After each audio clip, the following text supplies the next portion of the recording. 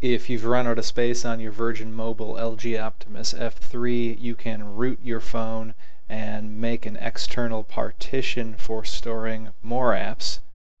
To do that, you need to download the latest LG Optimus F3 driver. That's the LG VM720 driver on the LG website. Just follow the prompts to install that. Once the driver is installed, we'll open up another browser window and search for Kingo. That's K-I-N-G-O.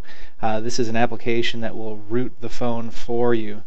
Now there are a number of applications that will do this like SafeRoot and TowelRoot, but I did get some tips from my subscribers indicating that they were getting kernel error messages with SafeRoot and uh, were successful with Kingo. So I've put this tutorial together. Follow the prompts to install Kingo. Once it's installed, open up the program. It will prompt you to connect to your cell phone. So go ahead and do that now.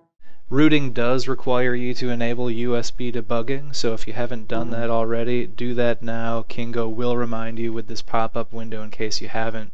Kingo will also remind you to keep an eye on your phone during the rooting process. If you see this pop up for the SuperSU app, be sure to click Grant.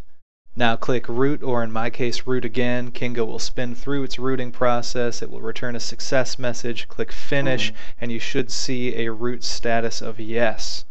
Now one final step just to verify the SuperSU app was successfully installed. Press and hold your screen that will pop up your applications menu. Find SuperSU and drag it onto your desktop.